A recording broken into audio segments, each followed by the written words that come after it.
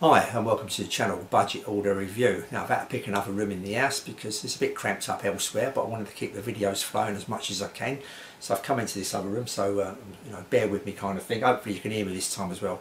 I will raise the volume of my voice so uh, when the adverts come on they don't suddenly blare out so I do apologise for that last video. Today it's the turn of these Gale Gold Monitor Mark II loudspeakers. Uh, so we'll just have a little quick look at them. They're quite smart uh, looking little loudspeakers at them. So gives me, uh, kind of reminds me a little bit of the old Wharfedale 9.1s I think with these two little ports at the front. Uh, I think they're available in a few different colours, you can get hold of them as well. But uh, I'm not too sure how old these are actually and how much they were new. I'm guessing they would have been about 70 or 80 pound. It may have been a bit less than that, I'm not too certain. But anyway, if we just measure them up very, very quickly so you've got an idea how actually big these are. These are 10 and a half inches in height with a depth of six and a half inches and uh, we want a width now don't we? And a width of seven inches. We've got a five inch driver here. We've got the two front ports at the front here and this little tweeter here. I shall take it apart in a minute as well but I think this little tweeter here is also um, also in the JB sorry JPW mini monitors as well. It's the same tweeter as that speaker as well. I think it's a three quarter inch uh, tweeter. I'm not 100% certain but I'll put a picture of it up very very soon so uh, what I'm going to do, I'm going to take them apart, show you what's inside. So let's uh, lay them on the desk and have a little look. So there you can see the uh, main driver, that's a 5 inch driver and it's kind of like got a plastic coating at the front and paper at the back. So it's a 5 inch little driver. Uh, there's the tweeter there out the unit as well and we just have a pan in at the crossover and there's the crossover and as you can see I think they you know they did maybe use this crossover for another speaker or just rearrange this crossover a little bit because you can see there is a markings there for a couple of other components that are not actually used on this uh, crossover. There's the uh, padding inside, not a lot of padding really to be honest with you, just a little bit of uh, wadding or padding, whatever you want to call it. And uh, if we just turn the speaker around, you can see the back there. And as you can see, these are bi-wireable. So uh, that's a little look at the speaker. So one thing I haven't mentioned is the uh, front covers on these speakers. Uh, there's the front cover. So I'm going to clip this on. This clips in quite nicely actually gives that satisfying clipping kind of noise. So if we just listen, and that ain't going to come out. It takes a little bit of a pulling. We spin it round, and as you probably already see before in the previous photos, these are bi-wireable. I tried these bi-wire and normal, and to be honest with you, there wasn't any difference at all. I couldn't hear any difference. There may have been something really very, very subtle, very, very subtle. It would have been to the extent that, that I couldn't really hear the difference there. So uh, just to let you know, this bi-wire didn't really make any difference at all. Maybe more for show than anything else, I don't know, but uh, actual sound-wise, it wasn't going to suddenly improve the uh, speaker vastly, that's for certain. Now I bought these speakers, these are not expensive speakers, you can easily get these on eBay for 20 to 25 pound quite easily. If they're more than that then, then don't bother because they are that price, you know, one's going to come up for that price.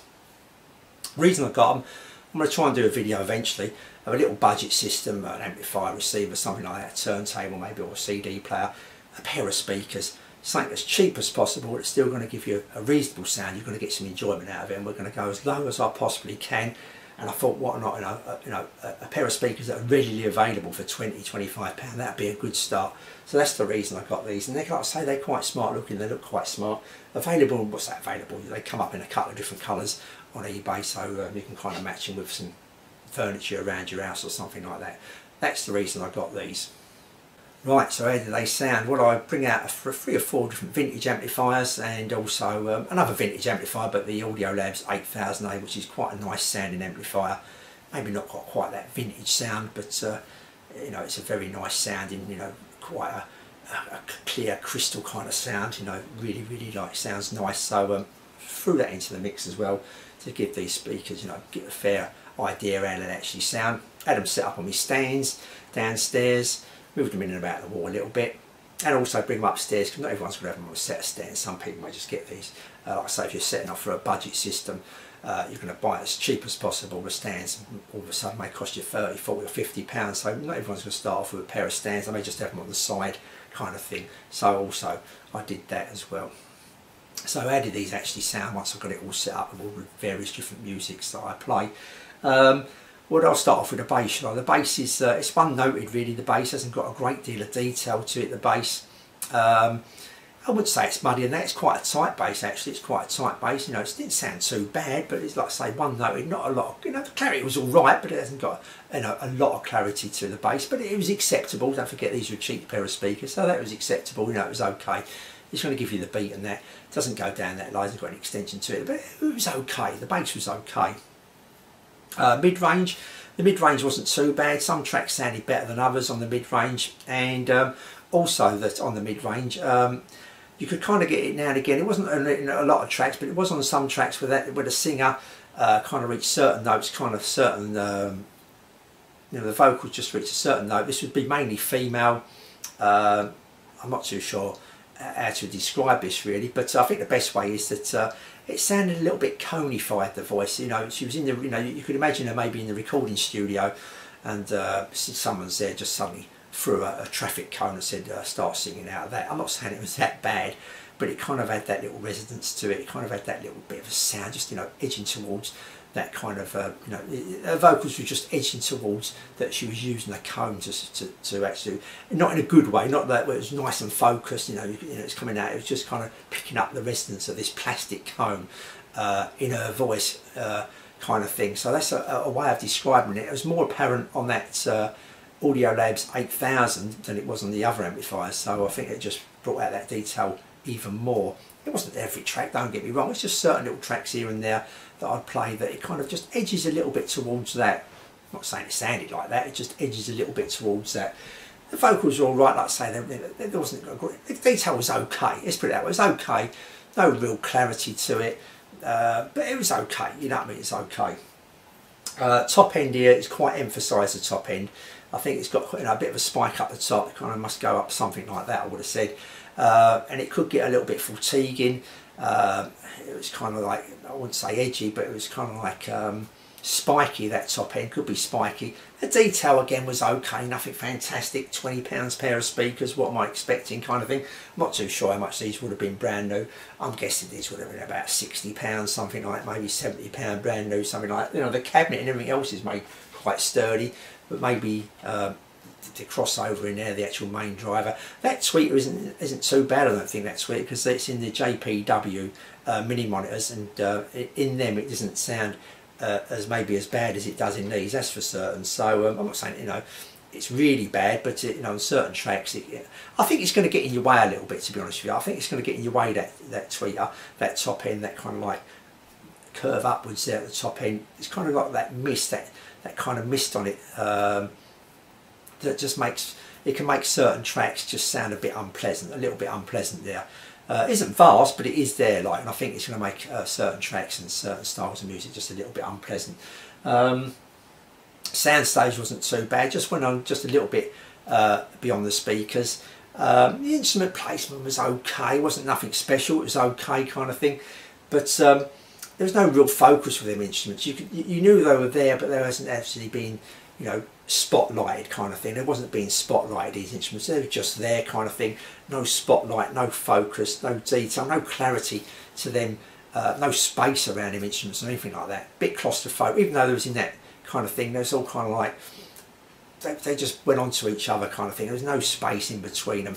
Um, like I say, this is if you're going to sit back and listen to it I, I, I sit back and I to, you know, I know where you know certain tracks I'm playing at where certain instruments are going to come in, and I actually try and find them. And once I found them, I kind of knew they were there, and I thought, well, that's that's where you know it's kind of in the right place. That's where it should be, kind of thing. But I had to listen out for it. I had to put a bit of work into to finding that kind of thing. Where on another pair of speakers, for instance, the Wharfedale Diamond Threes, I could just sit back and relax, and that it was presenting it to me because it's saying I'm coming from over here, Mick, I'm over here, Mick, I'm over there, kind of thing. Where this time I was kind of like playing hide and seek. I had to go and find it. So um, yeah, that was disappointing as well. No real depth. Uh, 3D wise, there's no real depth to it at all. Everything was quite flat, to be honest with you. Had a bit of height for that, but most of the instruments are flat. No 3D depth to it, anything like that. So on the whole, these speakers, they're okay. They're okay. You know what I mean? If you're just going to sit back and listen to it and not get too worried about it, but I think in the long run, that top end's just going to get a little bit on your nerves. when you first hear it, you think, oh, it's got quite a bit of top end here, it sounds quite nice, it's quite a bit of but that's really going to wear off pretty quick, I think. You're going to come to, you're going to think, oh, I'm going to have to turn that treble down a bit, it's just getting a bit too much, it's getting a bit too irritating now, kind of thing. And it's not though like it's nice and detailed top end, it's a bit mushy, it's not got a great bit of detail to it really, and I think it's going to, you know, like I say, get on your nerves after a while. So even though these speakers don't look too bad, they're reasonably made, the cabinets and everything else like that, and they're cheap to buy. I think there's a reason why they're on eBay for £20 and they're pretty easy to get hold of because no one really wants them, I don't think, so that's probably it. So I wouldn't have to put you off, I think, you know, I mean, if you're looking for a pair of these, I say pay another £10, £15 and get yourself a pair of Wharfedale Diamond Threes because between this and the Wharfedale Threes, they're a million miles apart, they really are, they're a million miles apart. The clarity on them Wharfedale Threes, the airiness, the instrument placement, the, the space around the instrument and all that is vastly superior to these here, that's for certain. But if you want a really, really tight budget or you see these in a charity shop for a tenner and that's all you can afford kind of thing and that's a, as far as you want to go and you're not really too worried about hi-fi, you just want a sound to come out, it's okay. Not going to fill up a big room, this is for a smallish room as well, nothing you know vast, you know a bedroom, a medium sized bedroom or a, a med, you know smallish kind of lounge, something like that. They're okay. Not got a, a, great deal of presence to them like you you know what I mean? They're all right near field they're not too bad not a real presence to them as soon as you kind of pan out a bit you know the sounds coming from them two little boxes uh, down the other end of the room kind of thing. So um, yeah obviously you know not a pair of speakers I'm going to recommend like I say you know not if you're really really on a tight budget uh, spend that little bit more not a lot more to get something quite vastly superior so that's these uh, I forgot what they're called now after all that they're the Gale Gold Monitor Mark II speakers. Not too sure, but it's bi-wireable. Bit, bit of a waste of time, I think, really, on his. Maybe just to make them look a little bit better than what they really are. So uh, I'll say that's it. Until my next video, I'll say thanks for watching, and I'll see you all soon.